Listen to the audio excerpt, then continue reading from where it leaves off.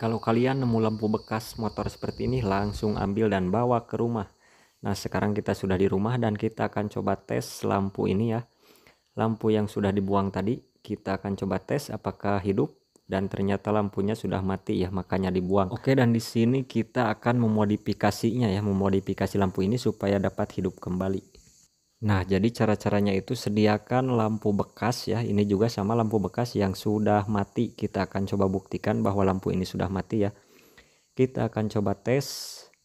Nah dan lampu bekas di rumah ini sudah mati ya. Dan biasanya lampu yang bekas mati seperti ini biasanya ada beberapa led yang masih hidup ya atau dapat digunakan kembali.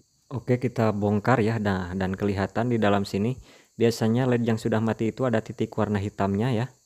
Nah sedangkan yang masih hidup itu masih putih ya belum ada titik hitam sama sekali. Biasanya lednya masih hidup. Oke dan kita akan coba copot atau cabut ya. Led-led yang masih putih atau yang belum ada titik hitamnya. Nah di sini saya akan ambil beberapa led. Nah dan kurang lebih seperti ini ya lednya.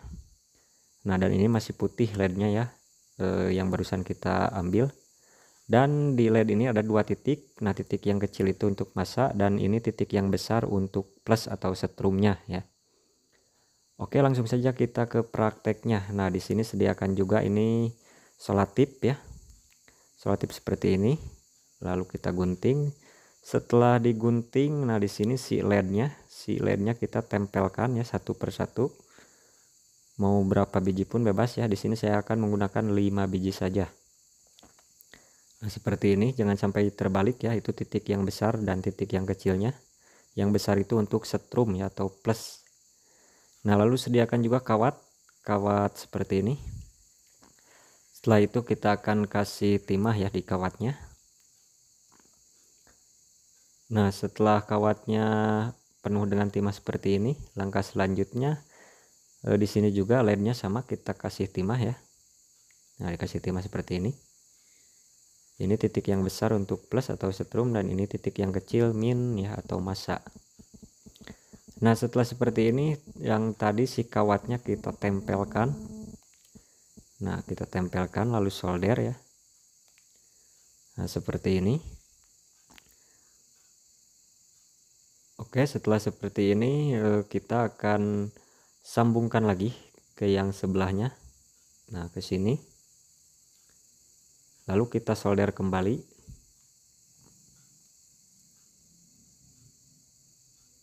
Nah kita solder ya. Satu persatu seperti ini sampai benar-benar terhubung semuanya. Dan ingat ini lednya harus yang masih putih ya dari lampu bekasnya. Biasanya led yang masih putih seperti ini masih bisa hidup. Oke langkah selanjutnya kita akan coba gunting. Ini diputus dibagi dua ya. Nah seperti ini Nah kurang lebih seperti ini ya setelah kawatnya dibagi dua. Oke tahap selanjutnya kita gunting. Nah setelah bagian kakinya digunting seperti ini langkah selanjutnya sediakan resistor. Resistor ini yang saya gunakan 560 ohm ya. Kalau ingin terang lagi gunakan resistor yang 470 ohm.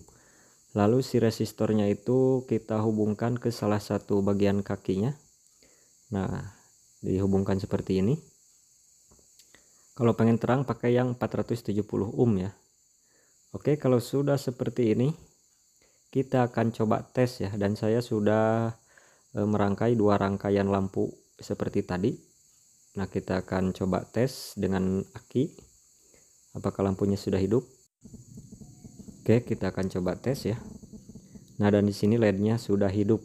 Oke tahap selanjutnya kita akan pecahkan si lampu yang tadi ya yang kita temukan Cara memecahkannya itu memakai pembungkus lap seperti ini ya atau plastik. Nah setelah pecah di sini ada empat kaki ya. Nah empat kaki seperti ini lalu kita akan hubungkan si led yang tadi. Dan kalau misalnya si lednya itu gak hidup ya dibalikan seperti ini. Nah jadi posisinya dibolak-balik saja ya kalau tidak hidup. Tapi kalau hidup sudah jangan dibalik si lednya. Oke kita akan coba hubungkan dan solder di sini si lednya ke bekas wadah lampu tadi. Nah setelah terhubung seperti ini kita hubungkan yang satu led lagi ya. Kita akan hubungkan. Nah ini untuk jauh dekat ya. Jadi untuk jauh dekatnya lampu motor menggunakan dua seperti ini. Oke kita akan hubungkan di bagian yang bawah. Yang satu lainnya lagi. Dan kurang lebih hasil akhirnya seperti ini ya. Ini tinggal dipasang di motor saja kalau sudah seperti ini Oke kita akan coba tes ya bahwa led yang tadinya mati. Kita akan tes apakah lednya sekarang sudah hidup ya. Hanya menggunakan dari e, bekas lampu mati ya keduanya. Dari bekas lampu rumah mati dan dari bekas lampu motor mati. Di sini menggunakan tegangan 12 volt ya untuk tegangannya. Oke kita akan coba. Ini e, barusan kebalik. Nah dan lampu sudah kembali menyala ya ini tinggal dipasangkan di motor kalau sudah seperti ini.